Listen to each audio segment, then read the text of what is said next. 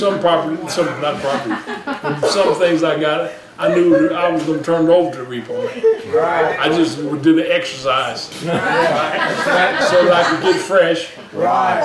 and enjoy the fresh Right. Right. and then go, I'm tired and get it, just get it back. Right. Now you can't do that.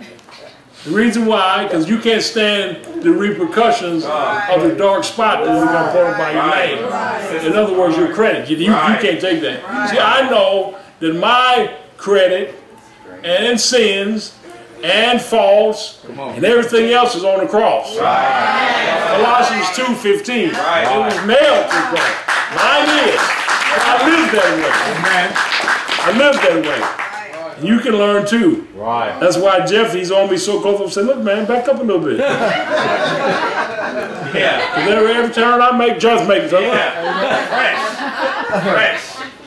My God, this boy's something else. I like that. Right. Right. Changed my eschatology for for a man that was ruling in the darkness and was came to the light because God spoke to him plus his dad. Right. It's a combination. Right. Oh yeah. He knew, but he, he, he wanted the darkness.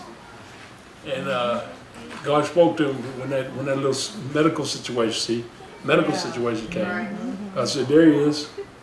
And he saw, he drove by at the start of the end, I was still standing. Right. Right. I told you guys the story. Right. Right. And God spoke to him. Another man said that, he's not here today, but another man said that on Sunday.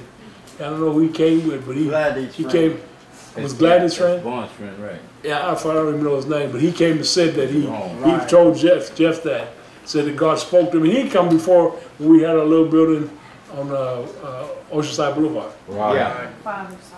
Yeah, he had come before, and but he said God spoke to him and told him Right. he, he needs to join the me. Amen. And then Jeff said that's the same thing God told me. Yeah. So they had that witness. Right. Yeah. Okay, let's push on.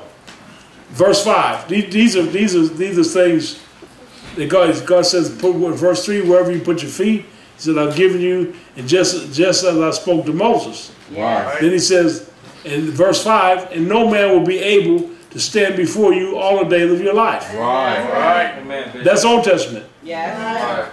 This is Joshua, and so this is Joshua's army, Right. Right. and this goes also for Caleb. Right. Okay, he goes on. Um, just as I was with Moses, I will be with you. Amen. Right. Yeah. I will not fail you or forsake you.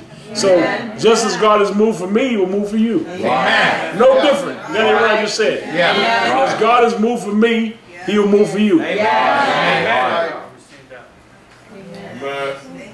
And I saw today, Jeff, I mean Jeff, John, that the inheritance that God has given me, it goes directly to you. Amen. Because because of the way that he has come and submitted. Amen. That the Lord showed me that today. Yes. when I was uh, reading about the inheritance, he said, I've given John an inheritance. And it wasn't, it's not the inheritance from your mother or from your father back over at the farm, in, uh, in- over back there in, uh, up near Washington.